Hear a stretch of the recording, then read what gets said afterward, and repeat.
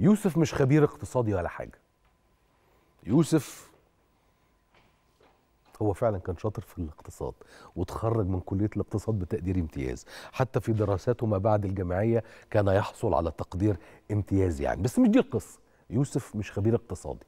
يوسف مجرد بني آدم واثق جدا جدا في هذه الدولة.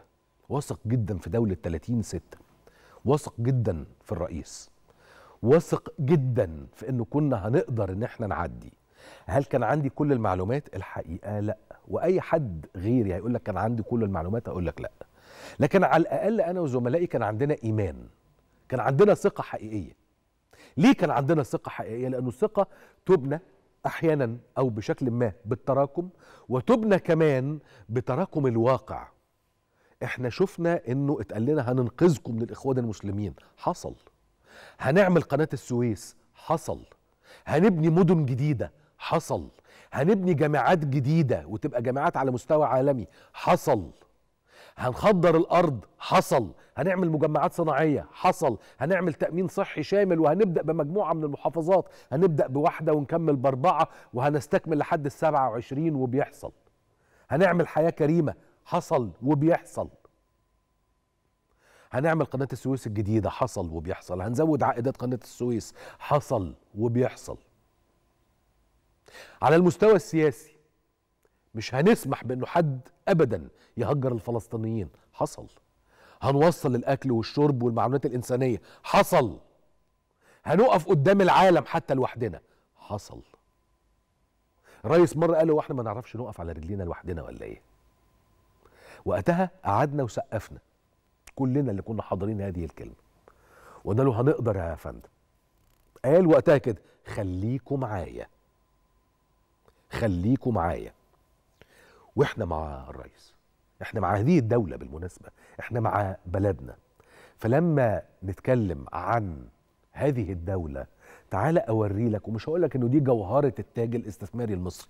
صحيح هي أكبر استثمار أجنبي مباشر حصل في تاريخ مصر بس تاني يوسف اللي مش خبير اقتصادي بس اللي واثق جدا ومؤمن جدا لأنه إذا كان ليا حظ فأنا حظي الوحيد إن أنا بحكم بالمنطق مش بالعاطفة. اللي جاي أكبر من كده بكتير صبرا. شوف يا سيدي المشروع شراكة وليس بيع أصول. مصر سيكون لها 35% من الأرباح. زي ما أنا كنت بشرح لحضرتك.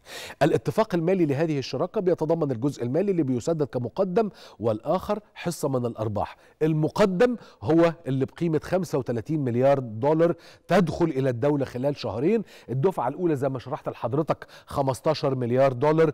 بعدها بحوالي شهر ونص هيبقى يعني الإجمالي يبقى شهرين هيبقى في عندنا كمان 20 مليار دولار يبقى الإجمالي 35 أيضا يا سادة يا كرام زي ما كنت بشرح لحضراتكم عندنا مستهدف 8 مليون سايح. أيضا يا سادة كرام لولا بنية أساسية حقيقية وقتها أنا أتذكر برضو لما جه الرئيس اتكلم وقال إحنا بنعمل بنية أساسية. أفكركم كويس؟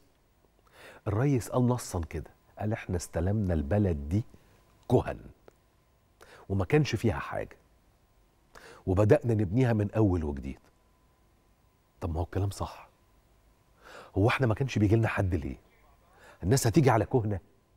كانت لازم البلد تتبني من أول وجديد. قال لك هو أنتوا كل حاجة بتصرفوا على الطرق والكباري الطرق والكباري جابت ده. القطار السريع بنعمل بيه إيه؟ جايب ده. شبكات معالجة المية والتحلية بنعمل بيها إيه؟ ده. ده. أكمل لك. الدفعة الأولى ال 15 مليار دولار منها 10 مليار سيولة مباشرة ده التحويل الخارجي المباشر.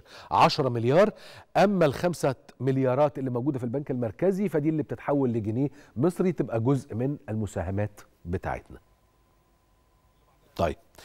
شركة ابو لا لسه است... اللي فاتت يا جماعة. لسه ده, أنا كان في عندي نقطة لسه قلتها بتاعت شركة أبو ظبي القبض. شركة أبو ظبي القابضة تتنازل عن جزء من الودائع الموجودة في المركزي الإجمالي بتاعها ال 11 مليار. عشان كده كنت بقول لك ال 11 مليار دول كانوا ودائع إماراتية حطها الإمارات في البنك المركزي المصري. طيب بتصنف إيه؟ بتصنف جزء من الدين الخارجي المصري. لما أنا ال 11 مليار دول يصبحوا بتوعي ملكي عارف الكرة دي بتاعتي هي فعلا بتاعتي. يبقى الدين بتاعي. نزل قد إيه؟ نزل 11 مليار في شهرين. تعال نروح للسلايد اللي بعد دي. إحنا ده عنواننا البسيط راس الحكمة بالأرقام. لازم الصورة دي يا خبر أبيض. دي صورة يعني الصورة اللي حضراتكم شايفينها دي ثمنها أكتر من 185 مليار دولار. 35 مقدم و150 ضخ استثماري. قليل الإيمان برضه في ناس كده قليلة الإيمان. ال 20 مليار دولار اللي جايين بعد شهرين دول 14 مليار سيولة دي اللي جاية اللي قلت لكم عليها بتاعت تذبح رقبه اليمامة. والجزء المتبقي من الودائع هو ال 6 مليار دولار. سادتي الكرام سادتي الكرام. رأس الحكمة هو بداية الاستثمار الأجنبي المباشر. آه هنشتغل على الثلاث مدن التانيين ده مما لا شك فيه. أنا ما عنديش أي معلومة لكن أنا بقول لك أدفع نص عمري. إنه في أكتر من جهة بالتأكيد بالتأكيد الأسبوع ده هتبدأ تتصل بالحكومة المصرية إن لم تكن بدأت الاتصال بالفعل. كويس؟ ده مجرد حدس ليس إلا آه توقع آه اعتبره أمل مفيش مشكلة. ده هيسمع في السوق السوداء سمع بالفعل في السوق السوداء. هيسمع على أسعار البضائع هيسمع بس هياخد وقته علشان تبقى عارف. هيسمع على معدلات التضخم هيسمع بس هياخد وقته عشان تبقى عارف. وقته قد إيه؟ مش عايز أجزم لك عشان ما حدش يقعد يتريق. وإن كنت أنا ما بخافش من التريقة. آه وقته قد إيه؟ ممكن ياخد له من شهرين لثلاثه علشان تحس بالفعل إن الدنيا اختلفت. لكن وارد جدا تنزل بكرة الأسواق تلاقي الأسعار بتتغير. في بعض المتاجر الكبرى بالفعل غيرت أسعارها وأنا وأنت بنتكلم. في بعض بائعي الأجهزة الكهربائية غيروا أسعارهم وأنا وأنت بنتكلم. ده حصل بالفعل. ده واقع. اللي مش مصدق ينزل السوق يسأل. السؤال محرومش انت خسران حاجة مش لازم تشتري. لما تلاقي السعر اختلف تعرف إن الله حق يبقى شيء مهم. قوي. مطالبتي الدائمة للحكومة. الأجهزة الرقابية تشتغل نار. نار وشرار. والساده المحافظين من العندي قبل العندي أرجوكوا كملوا دوسوا انزلوا جوه الأسواق ما تسكتوش. دي أهم حاجة. اللي حصل عظيم وعملاق وعاوزين نحافظ عليه ونستثمره الاستثمار الأمثل.